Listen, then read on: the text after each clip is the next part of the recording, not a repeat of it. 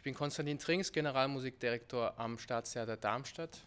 Das Staatsorchester Darmstadt und ich drücken mit unserem Beitrag unsere Solidarität für die niederländischen Kulturinstitutionen aus.